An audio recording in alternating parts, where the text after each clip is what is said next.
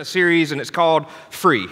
And last week I talked to you about being free through grace, free by grace, free by grace. Today I want to talk about being free through faith. The Apostle Paul, who wrote the book of Galatians, was the one who penned it in the book of Ephesians when he said, We uh, find salvation by grace, but through faith. And last week I talked to you about the grace of God, that it is not performance based, but it is person based. And Jesus is the person of grace. He is grace personified. And it's not about what we can do, it's not about what we bring to the table because we fall way short. Can I get an amen? And so, guess what that means? We're all in the same boat together today. And I believe that today God's got a word for you. And there's a way to define grace as we tie from last week to faith this week that I think maybe you can bring forward into your life. It's G R A C E, God's riches at Christ's expense. Aren't you glad that we get God's riches at Christ's expense? Grace was not free, but it comes freely to us. And the grace of God is both free and it's freeing.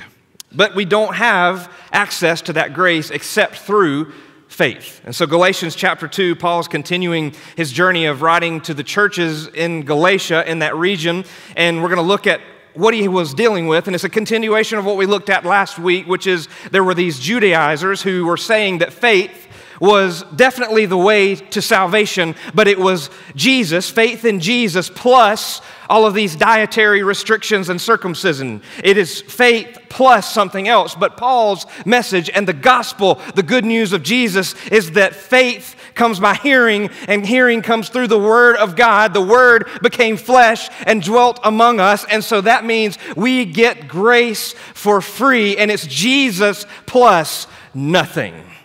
That's the gospel that Paul was proclaiming, and it's the gospel that we dig into today as we look at this theme of what Scripture calls, and a, a church theological word we often use to describe what Paul's going to go into today is justification. Somebody say justification.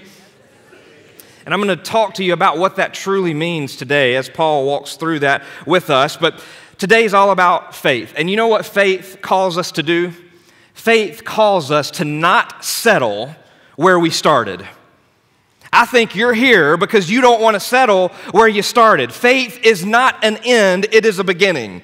And your faith has brought you to this place, and the call of your faith is not to settle where you are. It's not to settle where I started because my God met me where I started, but He's taken me somewhere new. Can I get an amen? He's not through with you yet, and faith will never allow you to settle in. In your notes, there's a statement that I just truly believe, and Paul is declaring it in his writing to the Galatians, and it is that where there is no faith, there is no freedom. Where there is no faith, there is no freedom. Faith is foundational to freedom.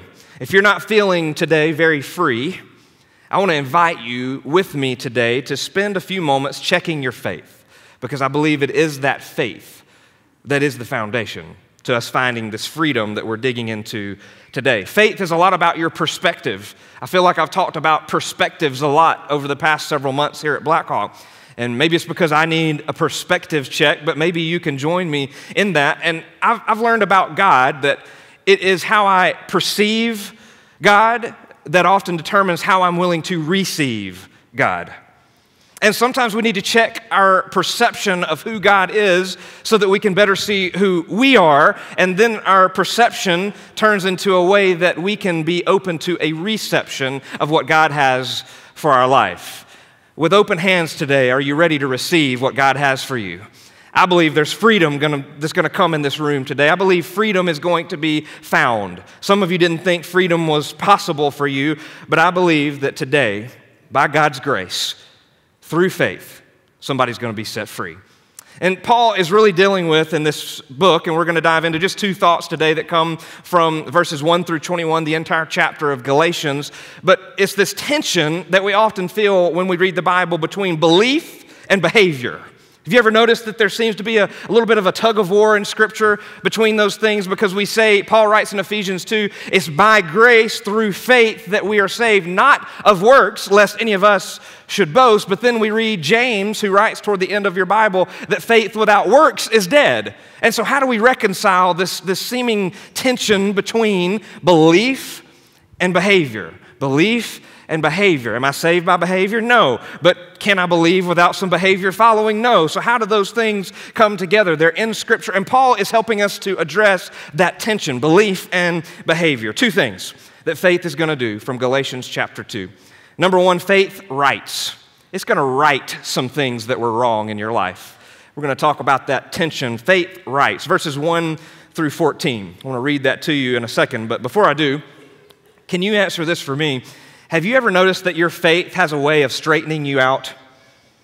You won't listen to that person in your life, perhaps, that was trying to straighten you out, but as soon as you take a few moments, dig into the Word of God, spend some time in prayer, you find that your faith will straighten you out. Can I get an amen? That's what I mean by faith rights some things. It turns some things around. Let's dig into that together. Anybody ready for the word this morning? Galatians chapter 2. I'm going to read the first 14 verses because that's where we see this picture. Really, two pictures I'll paint for you within this context of how faith will right some things that perhaps get wrong in our lives. Paul continues and he writes this Galatians chapter 2. There are Bibles in the seats around you. I invite you to join with me. I'll be reading from the English Standard Version today, which is the same version as the Bible in your seats. But follow along in whatever device or Bible you have with you today. Verse number 1 of Galatians 2. Then, after 14 years, I went up again to Jerusalem with Barnabas, taking Titus along with me. I went up because of a revelation and set before them, though privately before those who seemed influential, the gospel that I proclaim among the Gentiles, in order to make sure that I was not running or had not run in vain. But even Titus, who was with me, was not forced to be circumcised, though he was a Greek. Yet, because of false brothers secretly brought in, who slipped in to spy out our freedom that we have in Christ Jesus, so that they might bring us into slavery. Verse 5 To them we did not yield in submission even for a moment, so that the truth of the gospel might be preserved for you. And I'm so glad that it was. Verse 6 And from those who seem to be influential. What they were makes no difference to me. God shows no partiality, He wants us to know. Those, I say, who seemed influential added nothing to me. On the contrary, when they saw I had been entrusted with the gospel to the uncircumcised, just as Peter had been entrusted with the gospel to the circumcised, for he who worked through Peter for his apostolic ministry to the circumcised worked also through me for mine to the Gentiles.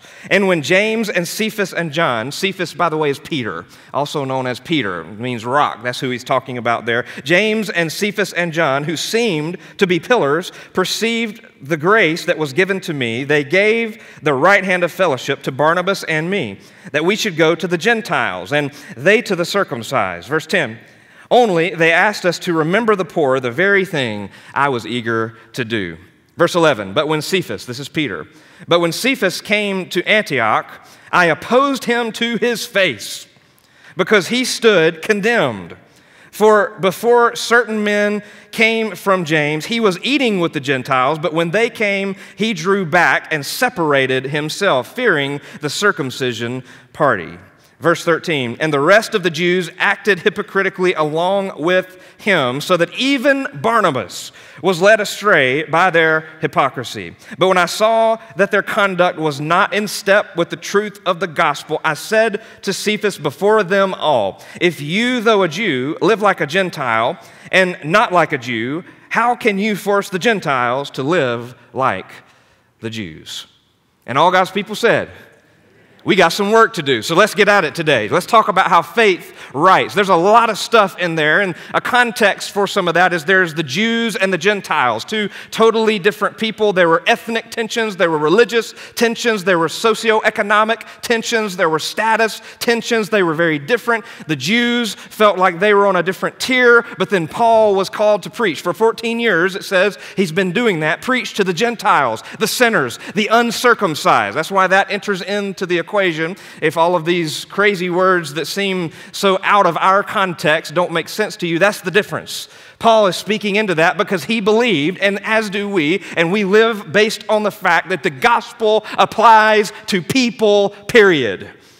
But yet, there were these Judaizers who were saying, nope, it only applies to certain people. And it's Jesus, yes, these other people, and we can come to the conclusion that the Gentiles, they can come into our faith, but they've got to follow our Jewish customs. They've got to follow our dietary restrictions. They've got to be circumcised. It's Jesus plus those things. And then, yeah, sure, faith can apply to them too. Jesus then entered the scene and said, no more. Jesus changed history. That is the gospel message that Paul is proclaiming today and still through his word to us today. So let's talk about how faith rights. I think there are a couple of different ways we run from God, and faith will straighten us out sometimes. We run from God. First, when, I hear run from God, I think about times in my life where I ran away from God by breaking his rules. Wouldn't that be kind of where our minds typically start? Like, I break the rules of God. Maybe I'm a hypocrite in that I'll say, I believe in Jesus and I'm supposed to follow after him, but then I go out into the world and my actions don't show that. That's the typical mindset that we bring to the table when we hear running from God. But Paul is making the case to us today, as am I, that that is a way to run from God, but another way exists. Sometimes you can look the part, you know, the behavior looks really good, but the belief on the inside is still off. You can really put on that church smile and have the image and reputation that you think you're called to have, but on the inside, you're running away from a personal relationship with Jesus. Have you ever been there? You ever had the church smile on? You look the part, you look like you had it all together, but on the inside, you're crumbling because you're running from Jesus privately, even though publicly everything looks like it is okay. That's another way to run from God. Is anybody with me, or is that just us pastors who feel that. Okay, yeah, we're all in that boat too, aren't we? There's a lot of ways to run from God. So that would be legalism. That's what Paul's talking about. That's what he's fighting against. Legalism is looking good on the outside. He called the Pharisees legalists and said, You're like a whitewashed tomb, pretty on the outside, but full of dead bones on the inside.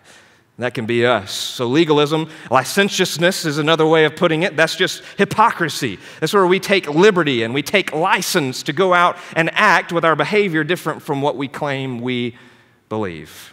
But there's a tension with those things, and I know, and by the way, Paul, you think you've got a corner on either of those two ways of running from God? Paul is the ultimate example of both. Paul has more Sunday school pens than you.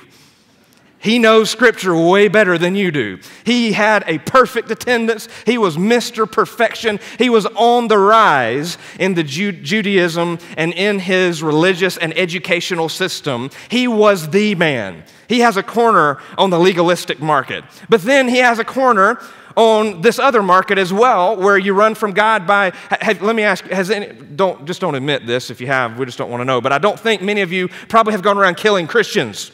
Well, guess what? Paul did.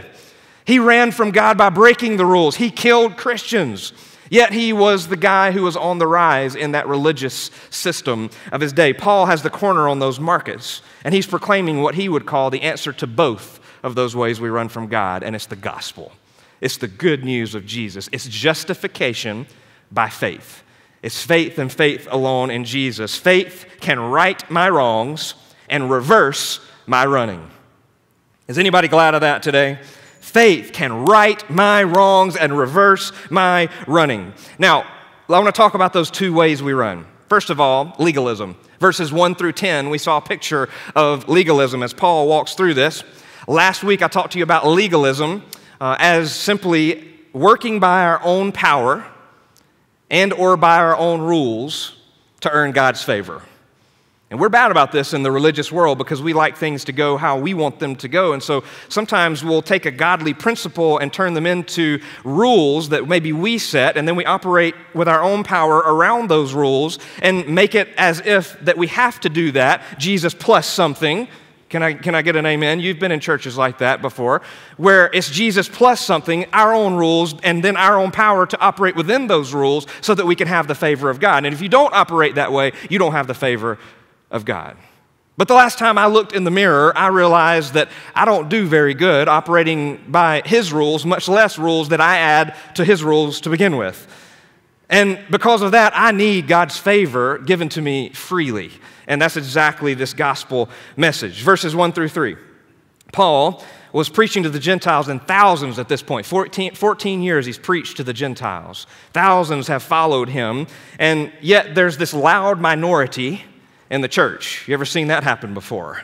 Well, Paul had those as well. There was a loud minority speaking against this Jesus plus nothing gospel, still saying that it's Jesus plus something else. And it was all of the circumcision, it was the dietary laws and restrictions. Paul's point was pretty simple. In verse 1 of chapter 3, we're going to look at it next week. He says, Oh, you foolish Galatians. Who has bewitched you? Who has pulled you aside? Are you not listening? Do you not get what this is all about? And so maybe this is going to be one of those do you not get it moments for somebody, for me, for you in this place today because maybe you've been living under the bondage and as Paul calls it, the slavery of trying to hit and check all of these boxes. And some of you, I know where your mind's going. It's like, well, but if I don't try to check the boxes, then I'm not very godly. And I've learned, I want you to hear me, I've learned that godliness never comes from me ever. But I've learned that the more I pursue a God who is godly, he equips me and empowers me and commissions me and sends me out and gives me everything I need that pertains to life and godliness. I'm not godly, but he was godly on my behalf. And because he's godly, I can live a godly life. It doesn't come from me, it comes from him. Everything else, anything else is this legalism that Paul is trying to battle. Now, he brought with him Barnabas and Titus. Did you notice that? First few verses. Barnabas is a Jew. Paul is a Jew. Titus was a Greek. He was one of those bacon-eating, uncircumcised, non-Jewish people. He was one of the Gentiles. But he brought both of them to this council of the apostles to check this gospel that he's preaching. He's been doing it 14 years. He wants to ensure there's still some alignment there. So he brings these two knuckleheads with him, Barnabas and Titus. And he's the chief of knuckleheads by his own words. Doesn't say knuckleheads, but it's, it's a good translation in my opinion. And in verse 4, did you notice that, so they're there, they're speaking with this council, the apostles in Jerusalem. Did you notice that it says that some had slipped in to spy out their freedom? They were coming in trying to be divisive, but you know, I think that relates to many of us. Maybe you today in this place that you've come in, you slipped in to spy out this freedom that we talk about in Jesus. Like you, slipped in the back, you don't want anybody to see you. And I'm not saying you're a Judaizer, you're not one of those divisive people trying to tear the church down. I hope. You know, if you are, then maybe God will deal with you on that too. But maybe you slipped in and you're just trying to spy out what is this church thing all about? Is it really for real? I hear all these people talk about it, but I see hypocrites in the church, and I want to see what it's all about. And so I think maybe you can relate with what was going on there. But then it's verses 5 through 10 that really has one theme. And he goes through all this the circumcised, the uncircumcised. They seem kind of influential, but it didn't matter if they were influential to me because people are just people and God chose no partiality. That's really the point verses 5 through 10, he's saying God shows no partiality. I don't care who you are, I don't care where you came from. I thank God that he shows no partiality. And so here's what Paul is saying that no matter how good you think you are or how bad you think you are, grace and faith levels the playing field because we are all human and we all fall short of the glory of God, and His grace and our faith has entered the picture because of Jesus and Jesus alone. Nothing but the blood has leveled the playing field, so that means we're all in this together. Can I get an amen? And that's also why, as he talks about these Judaizers, he said, We wouldn't submit did you notice that? Nothing. We would not yield to them. We would not submit to these people who are preaching another gospel. Can I tell you something that's so important today, folks? Have you noticed that you got this thing called the phone that you, you can click, and in a second you can research a theological topic, you can research a lyric, you can research a curriculum, you can research anything and everything in the palm of your hand? And I want you to know in churches, in the books that you're buying, in the music that you listen to, in the curriculum that you use in ministries, in this church, in other churches, there are wolves who are trying to sneak their way in to even some of the good stuff that's out there. And so here's what I want to tell you it's not my job.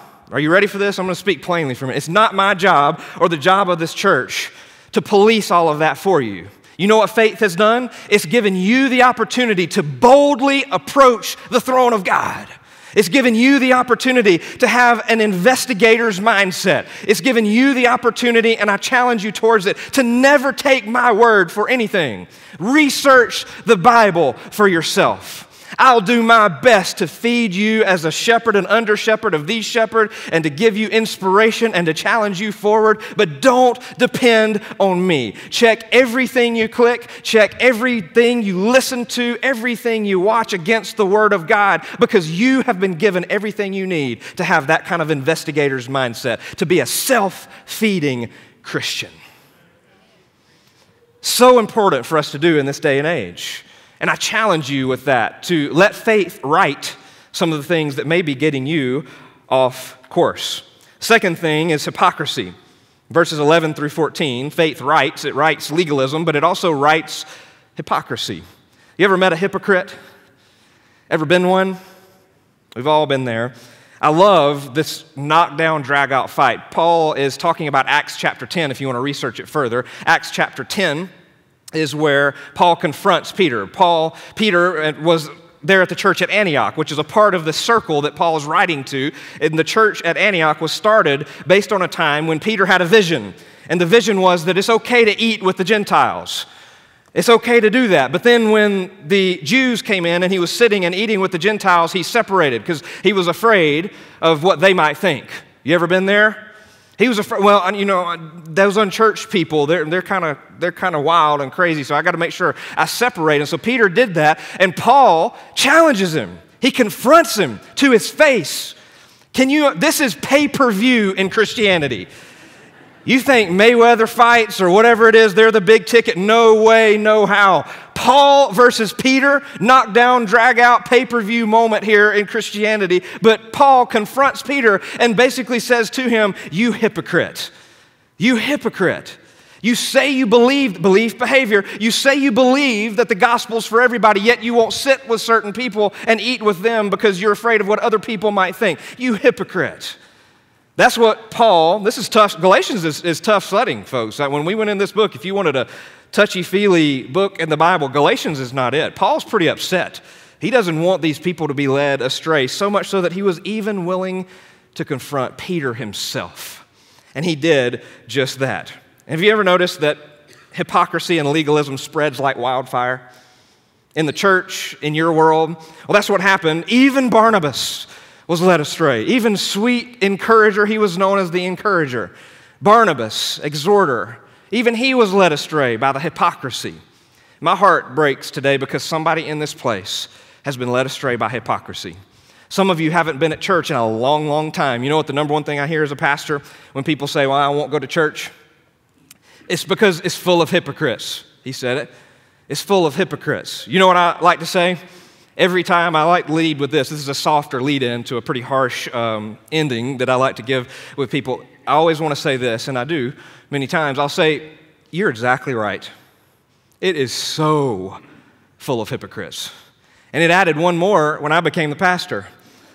And then I'll say, And you know what? You should still come because one more won't hurt. you only say that in right company.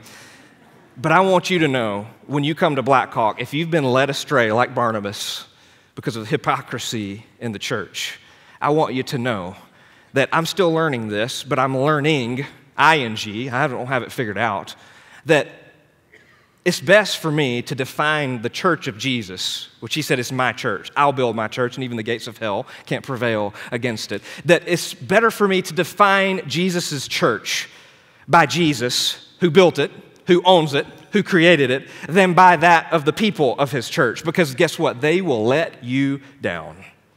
And so it's time for somebody to start defining the church of Jesus by Jesus and Jesus alone. And then guess what? The hypocrisy, the legalism, the things that have deterred you from the church, they become secondary because your eyes are fixed on Jesus, who's the author and the perfecter and the finisher of your faith. And you start to define the church by him. And then guess what you end up doing? You start to be the church. And the more you be the church, the more the we of the church can't really penetrate your heart like it used to. I wanted to encourage somebody with that in this place today because faith will right some things in your life. Some, it'll reverse some running, it'll right some wrongs the wrongs of legalism, the wrongs of hypocrisy. Faith will also unite. Faith unites. Number two, verses 15 through 21.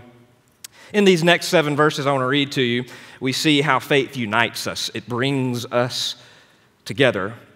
But the word justified is used five times in these seven verses, so it must be pretty important. So I want us to talk about what does it mean to be justified and free because of faith. But faith will unite us. Verse 15, continuing on. Everybody still with me this morning? This is some heavy stuff, but man, is it transformative. I believe somebody's finding some freedom. Let's continue digging into the freedom of God's word. Verse 15.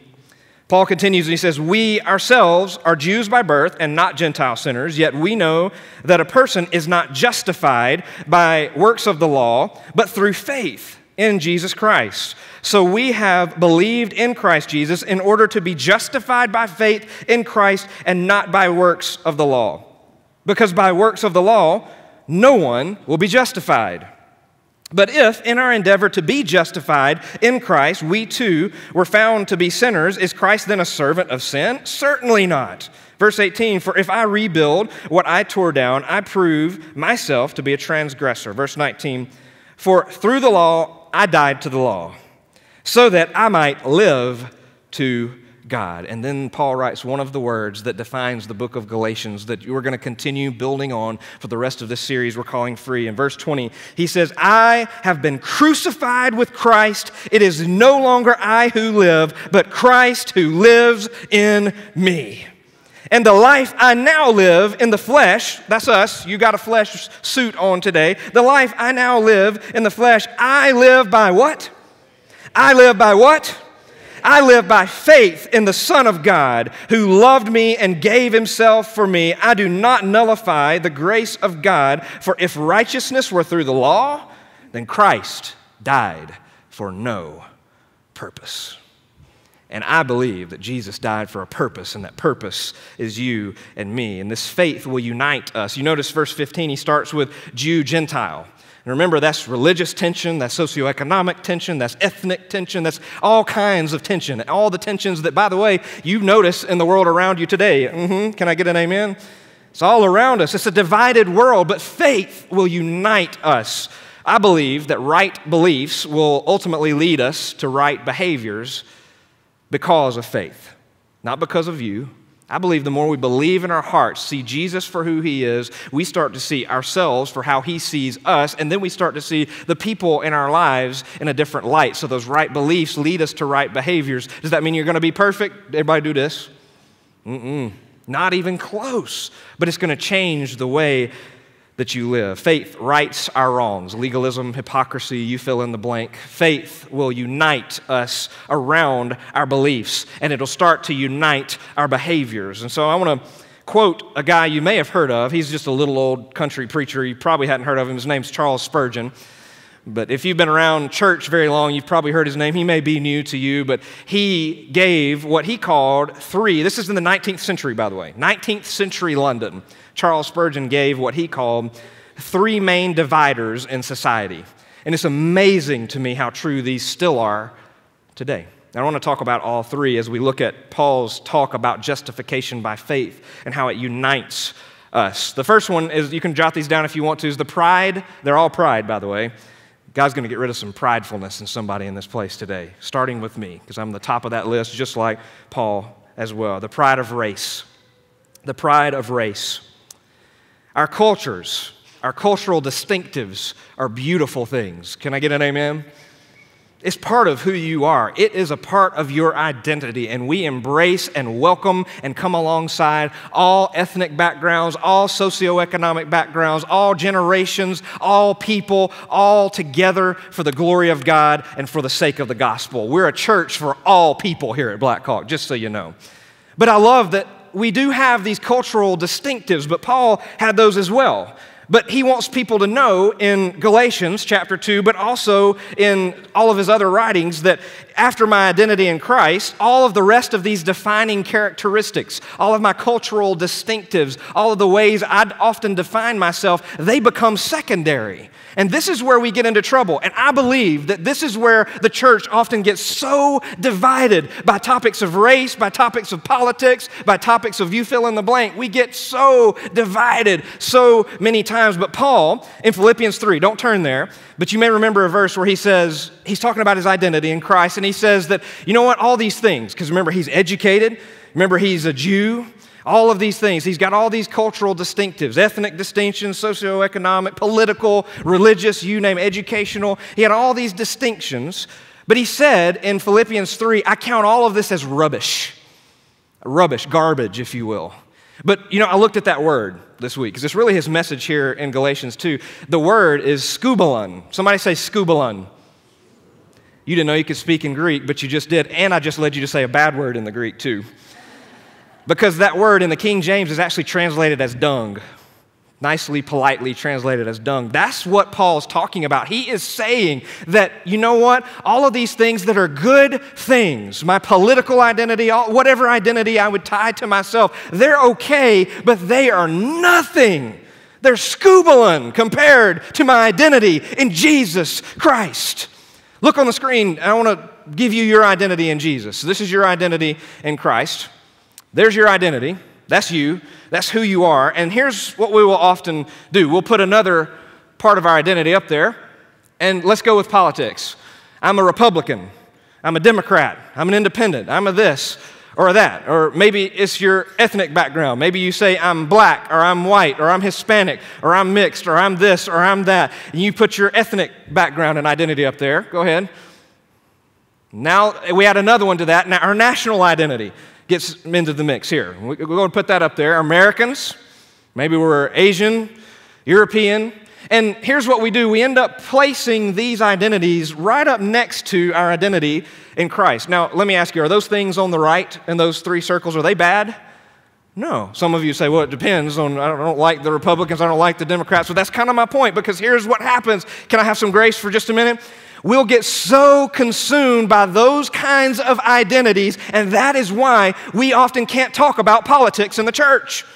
Yes, why when you have a discussion with a Republican or a Democrat and you're one of the opposite ends of that spectrum, you are immediately divided and you can't talk about it anymore because it's so close to the heart of your identity and who you are. The same thing happens with race. Why is it that we can't have a cordial nice discussion about whether or not it's appropriate for football players to kneel in protest and during the national anthem to the racial discrepancies that happen in our nation. Why can't we have that discussion? In this room, there'll be so many different opinions, but I know as soon as we have it, so many people can't talk about it anymore. Or we talk about America versus this country versus that country, and I want you to know all of those things, all of those opinions, they are distinctives that matter. And I think they should matter. So don't hear me preaching that they don't. But I will say, I want to quote Paul, because he says all of those things. He had a racial distinction, he had a religious distinction. Denominations could go up there. We could do so many more circles. He had all of those. But can I tell you what Paul said? He said, All of those are garbage, rubbish, skubalon compared to my identity in Jesus. And so this happens. And we move those away from our identity. They're still there they still matter. They still are a part of your makeup and who you are, but now they've become secondary to the primary thing that consumes and defines you, and that is your identity in Jesus Christ. I pray that sets somebody free. And you know what happens when that becomes your primary identity? You start to be able to have discussions and conversations with people who don't look like you, people that don't vote like you, people who disagree with you, who have a different background, who look different, whatever it may look like, be like for you, you can start to engage people because then you see people through the lens of an identity that does take those things into consideration, but they're now far secondary. They're rubbish compared to what it means to know Jesus Christ. May we be a church that's defined by our identity in Him because faith will unite us. And you're thinking, you said you had three, and I'm going to go through the other two really quickly. That's the pride of race. This is Charles Spurgeon. I pray, did that help somebody in this place today? maybe it's time to be consumed by your identity in Jesus and all those things that do matter will not quite take the cake like they maybe always have. And you'll be a part of uniting instead of dividing. That's what the call of the church is. The pride of race is a divider. Number two, the pride of what Spurgeon calls face and place. Face and place. Now, that's my status. This is my talents, my accomplishments, my achievements. But can I, and it's, it's, where it's the fit and the fat. It's the rich and the poor. It's you look this way and you look that way. All these distinctives, the accomplishments that maybe we would want to lord over somebody else because we're better at that than they are. Face and place. But two things. Did you know that if you were born in a third world country as an orphan, and maybe some of you were, did you know that you probably wouldn't have all the same accomplishments in your life that you have right now? That because of where you were born, because of the grace of God and where He's placed you, that you're given the opportunities that you're given. Is that fair to say? That life could look different if we weren't given the place, the face, the family that we were given. But let me take that a step further. How worthy are those things, your skills, your accomplishments, your successes? How much do those things justify you before God? Not only were they really kind of handed to you, really, if we're honest anyway, but what do they do in scope of eternity? Are you going to get to heaven and say, God, let me in because I was a CEO? God, let me in because my bank account was bigger than their bank account? God, let me in because I had a bigger name in my community than my neighbor? How well do you think that's going to go? It's not going to go very far. And it's the pride of face and place. And, you know, a lot of times, and, and here's what I'll tell you when it comes to eternity, before God, there's one kind of sinner, one kind, hopeless and dead. And that's you, and that's me. But by grace through faith, we can come to know Jesus. I may not be beautiful now, you know, and don't say amen. I'm watching.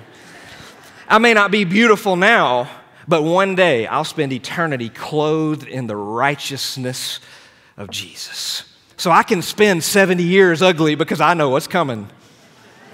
I don't have to care about this division, this pride of face and place or race. And then number three, he talks about the pride of grace. And he kind of argues this one may be the worst of all. This is where my behavior has been so good, it leads me to a distinction or superiority over other people because I'm better than they are. And we would all say, I would never do that. But he says so many times in the religious culture, we'll lord our superior lifestyle over other people. But there's, can I tell you, when it comes to race, when it comes to face, face, when it comes to place, and when it comes to grace, too many aces. I can't even say it. I'm sure he preached it way better than me, but I'll do. I'll give it my best. Can I tell you, there's one human race.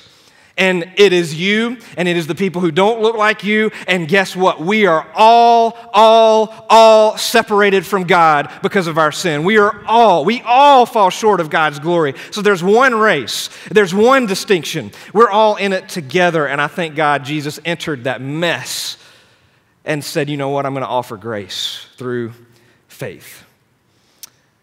I don't commit certain sins, often we'll say and we'll hold that over other people. But can I tell you today, just because God, because of His grace, kept you from different layers or manifestations of sin that others may have entered into, it doesn't mean you're something different than those who went down that route. That sin that you think, well, I didn't commit that one, it doesn't give you any kind of distinction. Uh, I read something even this week that I thought was a great statement. It's that the seed of every sin is in every human heart. I think that's so true. You didn't have to teach your kids to sin, did you? But every sin, the seed of it is inside of us as we are in this fleshly body. But Romans 3, if you believe any of those divi- dividing factors, read Romans 3. I promise you it'll change your perspective. And I want you to know that nobody in this place thinks we're superior to you, even if you don't believe. This is a place you can belong before you even believe, because we know we're in this together and we all need Jesus. Faith rights and it also unites. And as I look at those verses, verse 16, I told you I want to define justified, and I want to give it to you very simple. It's really a legal term. If we have any attorneys in the room, uh, justification is really a declaration. Justification is a declaration. It's a declaration of innocence. You're declared innocent, like in a court of law. That's what it's talking about. But can I give you the Kevin definition? I heard it as a child and I've always remembered it. Justified. To be justified by faith is simply this it means that it's just if I'd never sinned. Justified means it's just if I'd never sinned. And have you sinned? You can nod. We can be real. You've sinned, but Jesus made it just if you had never done so. What can wash away my sin? Nothing but the blood of Jesus. There's a statement in your notes that I want to remind you of today, and it's that there is nothing you can do to make God love you more, and nothing you can do to make Him love you less. Justified, never sinned. He loves you. Can I have your eyes for a minute? Somebody needs to hear it. Not hear it, not hear it, but hear it. Jesus loves you. He has not given up on you in this place. We died to sin so that we could live to God. I'm now, this is what Paul's talking about. I'm crucified with Christ. It's not I that live, but He, Christ, who lives in me. Four, five times in those seven verses, this word, even the word righteousness in 21 is the same word for justification. It's the same Greek word. We're justified because of our faith. I want to ask you to bow your heads with me. Close your eyes. Nobody's looking around. I'm going to give you just a couple of moments to respond. It's the most important time of the day. You've listened well, and here we are, but the gospel applies to you. Maybe it's time for you to be saved by grace through faith. Faith. Freedom comes through faith. Where there is no faith, there is no freedom. That's the good news of the gospel. I'm not here to lead you in a prayer today because I believe your heart is screaming a prayer to God in your own words. And if that's you, if you would say, I'm separated from God because of my sin, and I know that I need to be justified through faith, then I want to give you a moment to cry out to Jesus. Just in a silent moment here, just you and Jesus. Will you cry out to him with your own words? Jesus died on the cross for you. And when he died on that cross, he paid the price, the penalty for all of your sins that you couldn't pay, those same sins that separate you from him. He died for you. He paid that price you couldn't pay. After living the sinless life you could never live, He paid that price for you. While He was on the cross, He thought about this moment. And then He rose from the dead. And when He did, He defeated death, hell, and the grave so that you could receive that victory. Salvation is received, it's not achieved. It's not of works, it's by grace through faith. Will you cry out to Him in your own words and ask Him to save you? And He'll do just that.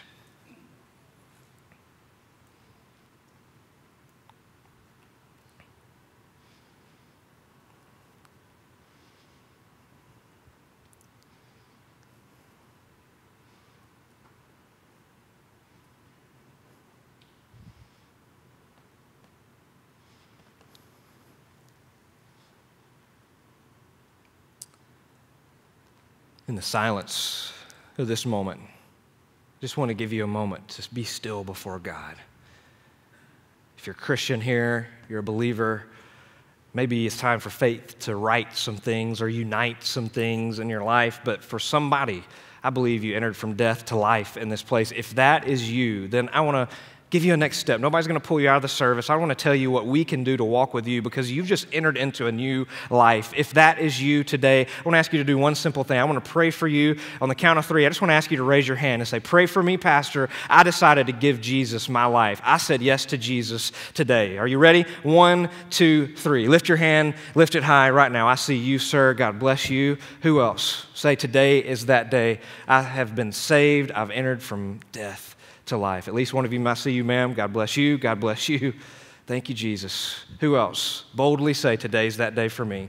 Wave me down if I miss you. I thank God for his salvation, for the freedom that comes from faith in the Word of God. God, I thank you for those who've raised their hands, for those who are finding faith, righting some things, uniting some things in our lives. God, I feel like we've done some heavy lifting through a big chapter in your Word today. But God, what freedom we have we found? And for salvation to be brought from you on your throne in heaven to these people. I thank you and I praise you for it. And I pray it all in the holy, powerful, matchless name of Jesus. And all God's people said, Amen. Let's celebrate. Welcome these to the family of God. Join the angels in heaven.